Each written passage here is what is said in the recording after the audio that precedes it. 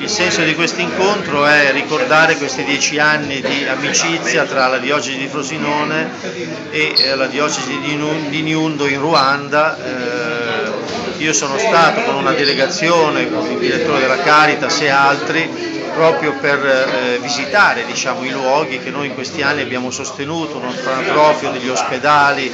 alcune case di vedove perché il genocidio ha prodotto così, tante, tante, tante donne che hanno perso tutto e sono rimaste vedove. E in questi anni devo dire che eh, la diocesi ha aiutato a ritrovare questa parte, tra l'altro difficile perché è vicino a Goma, il Congo, quindi è ripresa la guerra,